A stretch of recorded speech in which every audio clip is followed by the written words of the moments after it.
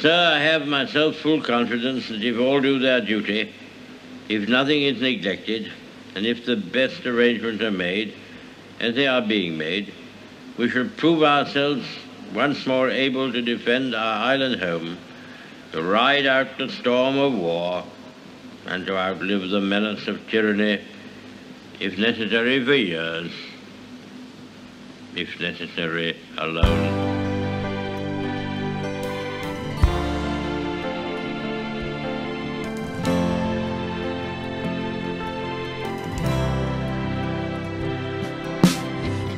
I do, all the things I've been through. I've been living this life without having a clue. Feeling that I'm always stuck in a shell, and I gotta get out like a bad addict.